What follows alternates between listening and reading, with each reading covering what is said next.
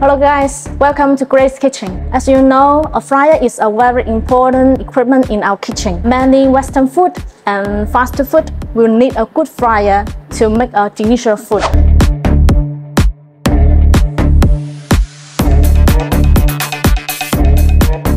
Today I'm going to introduce our gas fire to show you our details for you. This gas fire is single tank with two baskets. And um, how we know put how many oil into, here is a upper limit for the oil capacity. So we suggest the oil do not beyond this upper limit. This is a 20 liters gas fire. This is single tank with two baskets. Below the oil tank, we can see there is a cabinet.